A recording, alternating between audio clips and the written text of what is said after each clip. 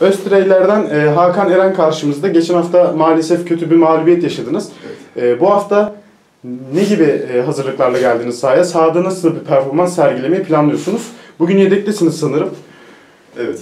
Bugün, Peki bugün yedek başlayacağım. Ee, Cihankale'de olacak. Geçen hafta evet e, bir fark yedik. 7-3 yenildik.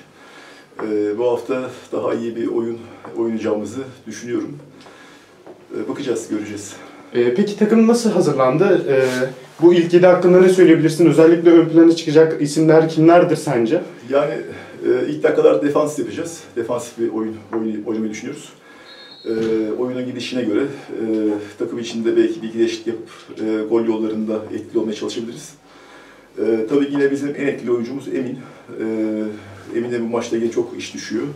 Defans arkadaşlarımız da yine aynı şekilde onlara da çok iş düşecek bu maçta. Anladım. Peki öyleyse biz de sizlere bu maçta başarılar diliyoruz. E, ayağınıza sağlık şimdi. Çok teşekkür ederim. Sağ olun. Teknokes takımından Alişan Orka, e, çok pardon başlatmayayım bunu. E, geçen hafta kaç kaç bitmişti maçınız?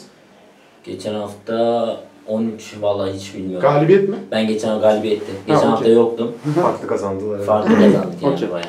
Teknokes takımından Ali Şenol karşımızda. Geçen hafta farklı bir galibiyetle geldiniz. E, şu an bugün buraya ne gibi hazırlıklarla geldiniz? Öncelikle bunu sorayım. Kalabalık bir takımsınız. E, buna nazaran oyuncuları neye göre e, ilk yediye çıkartıyorsunuz? Öncelikle bunlardan bahsedebilir misin? Ya öncelikle şu, e, geniş bir kadroya sahibiz. E, iyi bir kadroya sahibiz. İyi iyi hazırlandık bu turnuvaya. E, ilk yediği şöyle seçiyoruz. E, rakiplerimizi analiz ediyoruz. E, maçlarını izliyoruz. Ona göre mevkilere, oyuncularımızı ona göre koyuyoruz. Yani maç maç bakıyoruz. İyi gidiyoruz şu an. Peki bugünkü rakip analizi, ani- analizinize bakacak olursak rakip hakkında ne söyleyebilirsin ve özellikle defansif olarak mı başlayacaksınız, ofansif şekilde mi bitireceksiniz? Bunlar hakkında da bilgi alabilir miyiz sizlerden? Ya öncelikle rakibe başarılar diliyorum tabii ki. Ee, rakibi de izledik hafta içi. Gördük. Ee, biz de ofansif her zaman tercihimiz. Kasa dayalı oynuyoruz. Pası seviyoruz. Önceliğimiz tabii ki ofansif. Peki öyleyse e, bu maçta sizlere başarılar diliyorum şimdiden. Çok teşekkür ederiz. Ayağınıza sağlık. Ben teşekkür ederim. Sağ olun.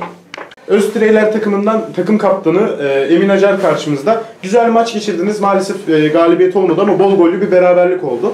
E, öncelikle maç hakkındaki fikirlerini alayım ve daha sonrasında 3. haftanız olmasına rağmen bir galibiyet, bir mağlubiyet, bir de beraberlikle e, buradasınız. Evet. E, genel bir takım değerlendirmesi ve daha sonrasında da e, maçla maç hakkındaki fikirlerini öğrenebilir miyim?